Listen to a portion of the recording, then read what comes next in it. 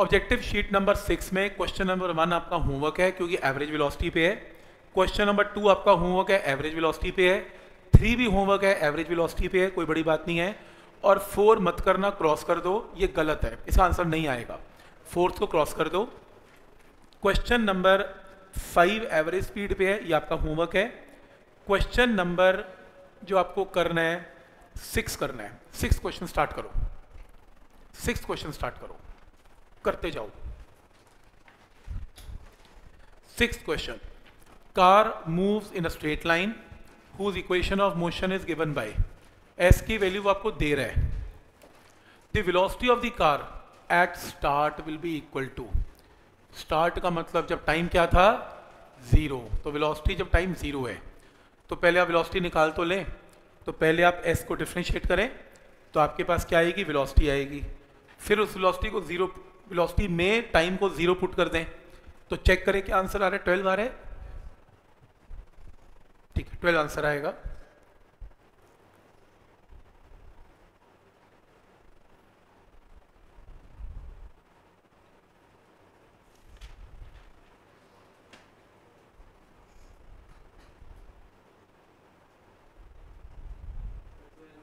Twelve आ गया, ठीक है? तो वेलोसिटी आ गई टाइम को ज़ीरो पुट करो वेलोसिटी ट्वेल्व आएगी, एक आंसर आएगा। क्वेश्चन नंबर सेवन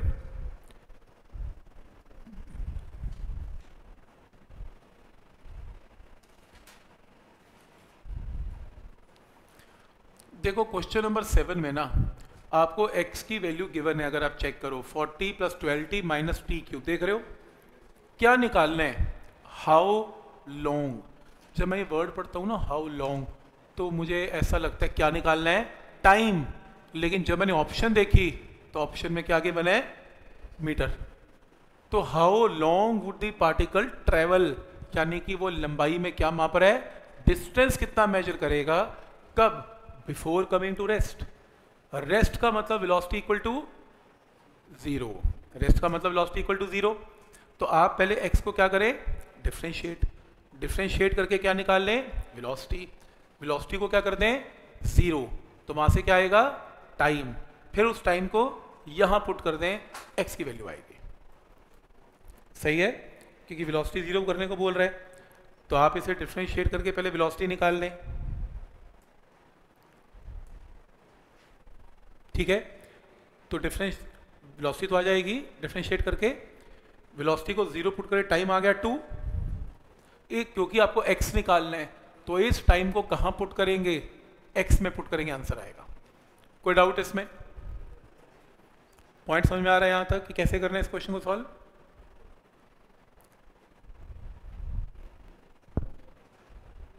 ठीक है? सबको समझ में आ रहा है यहाँ तक क्या करना है? नेक्स्ट क्वेश्चन में position of the particle varies with time as X X फिर दे रहा है ए और बी कांस्टेंट है। एक्सेलरेशन विल बी ज़ीरो जब टाइम की वैल्यू गया, इसका आंसर शायद गलत आ रहा है। डाउट है मुझे इस क्वेश्चन द्वारा सॉल्व करके चेक करो क्या आंसर आ रहा है इसका। यही आ रहा है क्या? कि पीछे आंसर गलत है इसका। पीछे फिर गलत होगा, पीछे सी की बना ए ही आंसर है इसका ए आंसर है राइट ऐसे। तो देखो इसमें क्या करना है? इसके अंदर एक्स पता है इसको डिफ्रेंशिएट करके क्या आ गई? वेलोसिटी आ गई। वेलोसिटी को एक बार और डिफ्रेंशिएट करके क्या आ गया? एक्सेलेशन आ गई। एक्सेलेशन का सिंबल ए मत करना कंफ्यूज हो जाओगे नहीं तो। ए और ए माइनस कर बैठोगे। तो एक्सेलेशन को उठा के क्या पुट कर दिया? ज़ीरो तो ज़ीरो पुट किया, देखो टाइम आ रहा है। डिफ्रेंसिएशन कराने की ज़रूरत तो नहीं ना, समझ में आ रही है ना? ठीक है, इसलिए करवाई थी दस दिन लगा के कि यहाँ समझानी ना पड़े। नहीं तो होता कुछ नहीं, फिर यहाँ बैठ बैठ के मैं आपको बताता रहता डिफ्रेंसिएशन कैसे करनी है। इसीलिए वहाँ ज़्यादा टाइम लगाया था। समझ में आ रहा है यहाँ तक? ताकि फटाफट फिजिक्स की प्रॉब्लम सॉल्व हो जाए। तो इसको डिफ्रेंशिएट करके वी वी को डिफ्रेंशिएट करके ए ए को इक्वल टू ज़ीरो वहाँ से टाइम आएगा। तो आइडिया समझ में आ रहा है यहाँ तक? देखो शीट आपको अगली बार होमवर्क करके लानी है सारी। सिर्फ़ हिंट आप समझ सकते हैं मेरे से आज कि ये ये इसमें टेक्निक यूज़ करनी है। करनी तो आपको घर से पड़ेगी। इतनी जल्दी नहीं कर पाओगे आपको। सॉल्व तो अपने हाथ से करनी है यही आपको होमवर्क है नेक्स्ट टाइम का। Question number nine nine homework लिखो यार acceleration of the particle instant home किया हुआ है हमने ऐसा। कोई नई बात नहीं है। नाइन भी और टेन भी। तो ये होमवर्क लिखो। नाइन एंड टेन इलेवन भी। ट्वेल्थ से करेंगे। ट्वेल्थ करेंगे। ट्वेल्थ डाउट आएगा। इसलिए आज ही कर लेंगे। ट्वेल्थ करो। इलेवंथ में डाउट है। ठीक है, इलेवंथ भी कर लेते हैं। इलेवंथ में एक्स की वैल्यू आ गई। रिटार्डेशन ऑफ़ द पार्टिकल निकालनी है। कब? जब वेलोसिटी ज़ीरो है।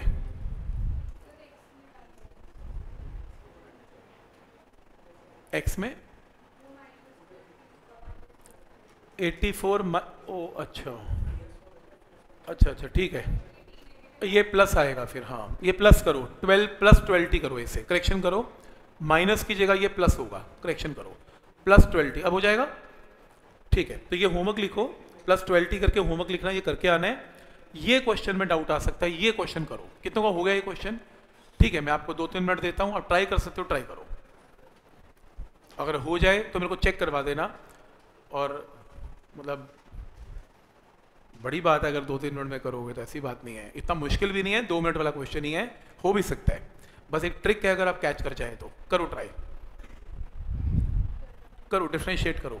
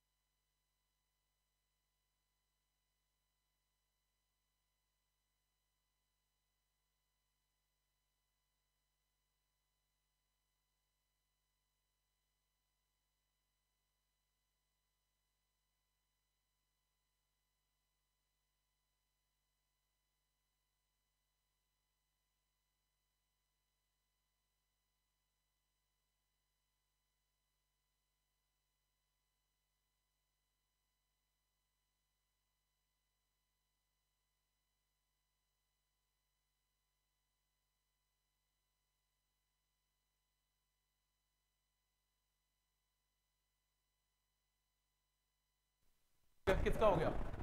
हो गया आंसर कितनों का आ गया आंसर क्या बात क्या बात है भाई। ठीक है। देखो, इसमें करना क्या है?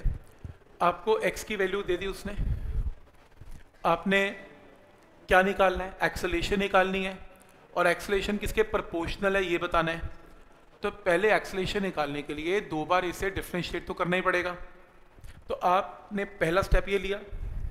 इसको डिफ्रेंशिएट किया minus one T plus five raise to power minus two into D by D T of T plus five इसको डिफ्रेंशिएट करके तो माना जाएगा तो क्या ये स्टेप क्लियर है पहला? वेलोसिटी आ गई। वेलोसिटी को ठीक तरह करके लिखते हैं। T plus five raise to power minus two था, नीचे ले गए टी प्लस फाइव का स्क्वायर हो गया तो ये वेलोसिटी की वैल्यू आ गई। कोई डाउट इसमें? तो वेलोसिटी किसके प्रपोर्शनल है? One upon t plus five का स्क्वायर प्रपोर्शनल में माइनस साइन लगता नहीं है। पहला स्टेप क्लियर है।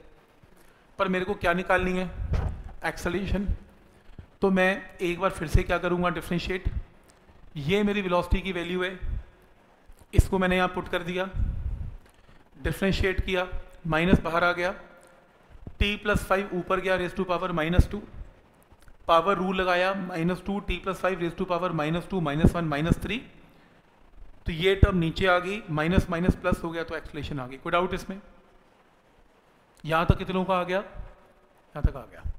बस एक स्टेप और करना था कि इसको क्यूब को ब्रेक करना है, स्क्वायर और वन में। देखो प्रपोर्शनल कर लिया, क्योंकि प्रपोर्शनल बताना है तो टू को हटा दिया। तो क्यूब का मतलब one plus T plus five raise to power square और टी प्लस फाइव। क्या ये स्टेप क्लियर है? ठीक है, क्यूब की जगह दो बार लिख लिया, कोई फ़र्क तो नहीं पड़ा। तो अगर आप ऊपर देखें कि वेलोसिटी किसके प्रपोर्शनल थी? One upon T plus five के स्क्वायर के प्रपोर्शनल थी? ये क्वेश्चन अभी हमने ऊपर प्रूव किया था। तो ये बताओ one upon T plus five किसके प्रपोर्शनल है? Under root of velocity square इधर जाएगा तो क्या बनेगा? अंडर रूट ऑफ़ वेलोसिटी क्या स्टेप क्लियर है? तो क्या मैं इस टर्म की जगह पुट कर लूँ? वेलोसिटी वी इसकी जगह ये गलत है।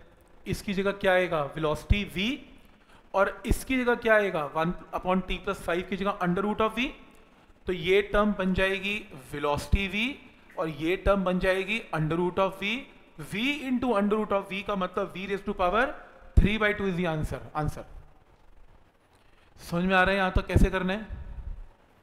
कोई डाउट इसमें? ठीक, देखो स्टार्टिंग में कैलकुलस है। ये रहा डिफ्रेंशिएट पावर नीचे, एक power come differentiation of T plus five जो कि वन है ये क्या ये पॉइंट क्लियर है यहाँ तक कि कैसे करना है इसमें? एंड में. एंड में हमने क्या किया? यहाँ तक क्लियर हो गया. तो मैंने ये बताया कि ये जो टर्म है ऊपर, क्या प्रूव की थी वेलोसिटी अगर मैं स्क्वायर हटा दूँ तो ये क्या जाएगी? Under root of velocity velocity की पावर वन है वेलोसिटी की पावर हाफ़ है तो वेलोसिटी की पावर ये हो जाएगी थ्री बाई टू आंसर ये ऑप्शन गिवन है.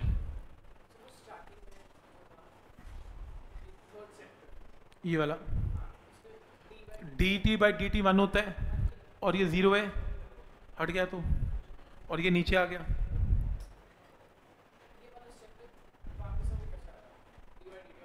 ये वाला. ये कैसे आया? पावर पे हाथ रखा तो d by d t of t plus five नहीं होता। पावर पे हाथ नहीं रखते ना हम, इसमें रखना पड़ेगा।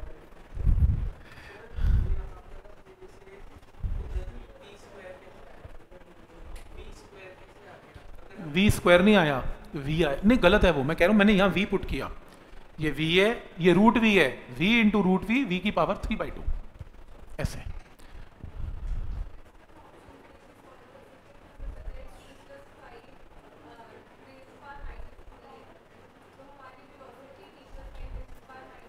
हाँ कर सकते हैं। अगर वो पकड़ सकते हो तो पकड़ लोगे, ठीक है।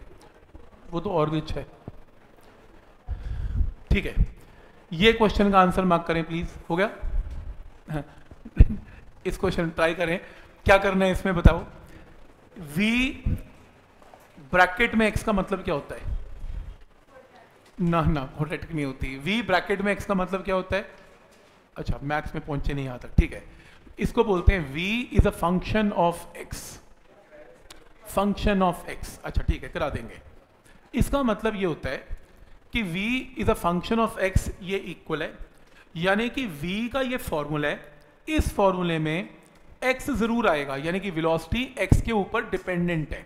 तो v is a function of x का मतलब v के फॉर्मूले में x आएगा, यानी कि v x के ऊपर डिपेंडेंट है। इसे बोलते हैं फ़ंक्शन ऑफ़ x आप अकेला v लिख लेंगे तो भी कोई प्रॉब्लम नहीं है। इसका मतलब ये बिल्कुल भी नहीं है। V के साथ x मल्टीप्लाई हो रहा है, ये ऐसा नहीं है इसका मतलब।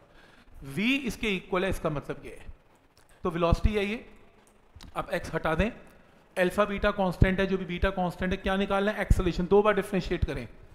तो एक बार डिफ्रेंशिएट करेंगे इसे। तो बीटा कांस्टेंट आ गया।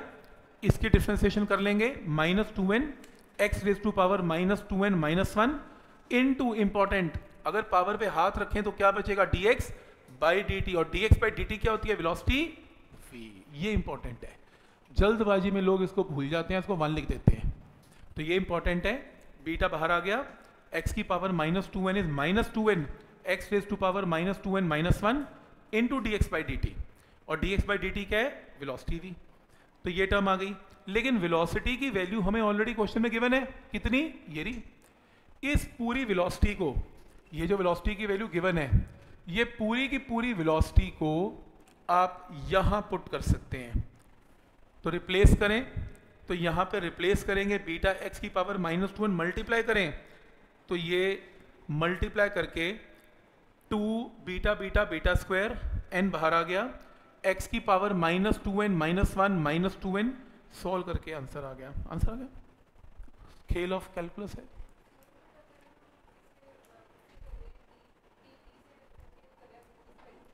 हाँ टी किया मैंने।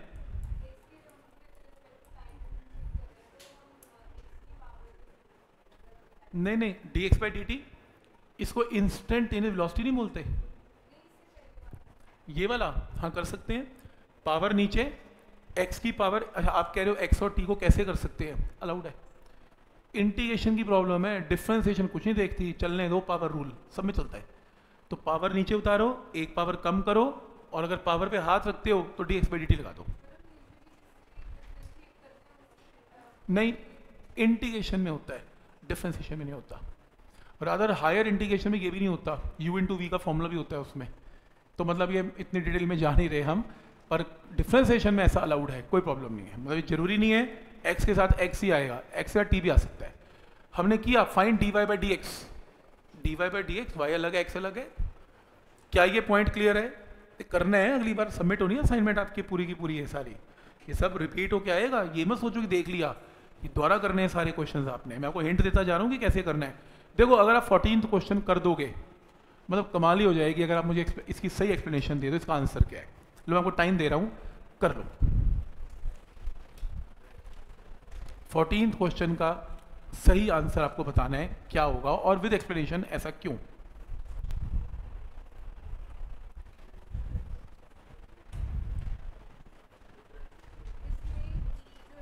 एक्सपोनेंशियल है ई डिफ्रेंसिएशन ऑफ़ ई की पावर एक्स इज़ ई की पावर एक्स ज़ीरो नहीं करना। A alpha b beta constants हैं।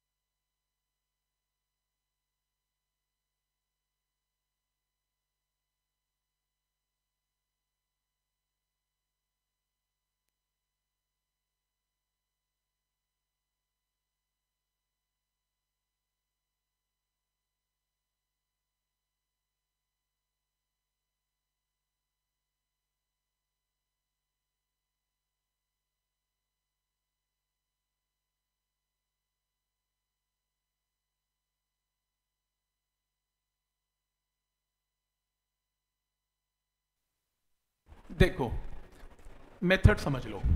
सबसे पहले आपको ना x की वैल्यू क्या है? A e की power minus alpha t plus b e की पावर बीटा टी क्या ये पॉइंट क्लियर है यहाँ तक? ठीक। आपको क्या निकालना है आपको? वेलोसिटी ऑफ़ द पार्टिकल निकालनी है। तो ऑब्वियसली मुझे क्या करना है? डिफ्रेंशिएट तो मैंने d by d t of first term second term किया। तो differentiation of first term plus differentiation of second term क्या पॉइंट क्लियर है? फिर ए कांस्टेंट बाहर आ गया बी कांस्टेंट बाहर आ गया। फिर हमने डिफ्रेंसिएशन का फॉर्मूला किया था। इसको डिफ्रेंसिएशन में कैसे लिखते हैं? ई e की पावर माइनस एल्फा टी की डिफ्रेंसिएशन ई की power minus alpha t into d by t t of minus alpha t will give minus alpha और ऐसे यहाँ पर ई e की power e e raise to power beta t is e की power beta t into d by d t of beta t is beta तो ये velocity की value आ गई। यहाँ तक क्लियर है हाँ इंक्रीज कैसे?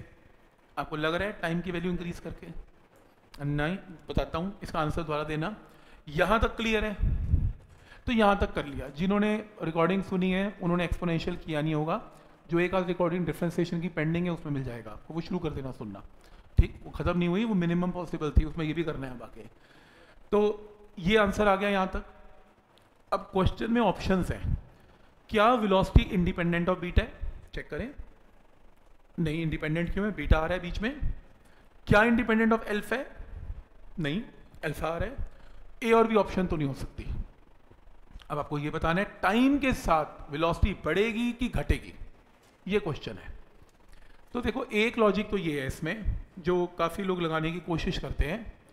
वो ये है कि वेलोसिटी को अगर हमें ठीक तरह करके लिखूं तो मेरे पास क्या आएगा?